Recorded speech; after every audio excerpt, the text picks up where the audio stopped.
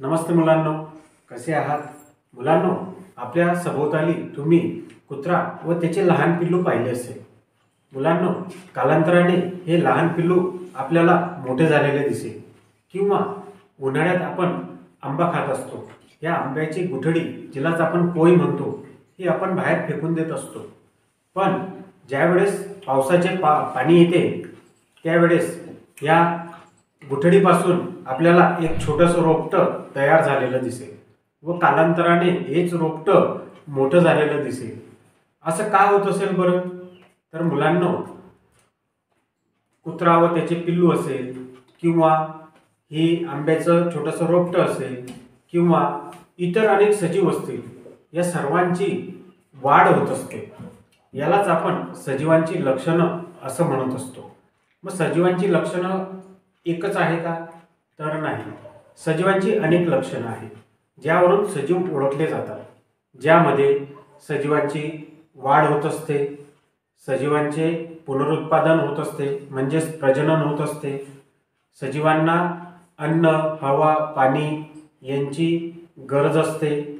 सजीवांचे श्वसन होत असते. सजीव स्वतःसारखा दुसरा जीव निर्माण करत असतो. अशी सजीवांची अनेक लक्षणे आहेत.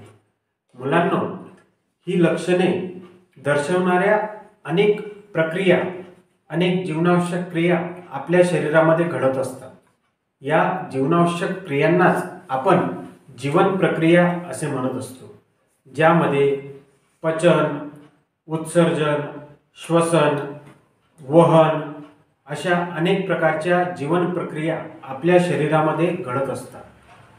या जीवन प्रक्रिया घड घडण्यासाठी आपल्या शरीरामध्ये अनेक इंद्रिये हे एकत्रितपणे काम करत असतात. अनेक इंद्रियांच्या सहाय्याने या जीवन प्रक्रिया आपल्या शरीरामध्ये घडत असतात. या जीवन प्रक्रियांमध्ये क्रिया घडत असताना विशिष्ट टप्प्यावर विशिष्ट इंद्रिये ही काम करत असतात.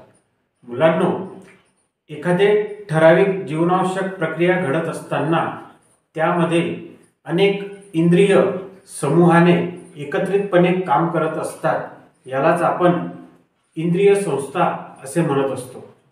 मुलांनो आपल्या शरीरामध्ये अनेक प्रकारच्या इंद्रिय संस्था कार्यरत आहे ज्यामध्ये श्वसन संस्था रक्ताभिसरण संस्था पचन संस्था उत्सर्जन संस्था अस्थिसंस्था चेता संस्था स्नायू संस्था अशा अनेक प्रकारच्या संस्था ह्या आपल्या शरीरामध्ये अविरतपणे कार्य करत असतात व यांच्यामुळेच आपण निरोगी जीवन जगत असतो.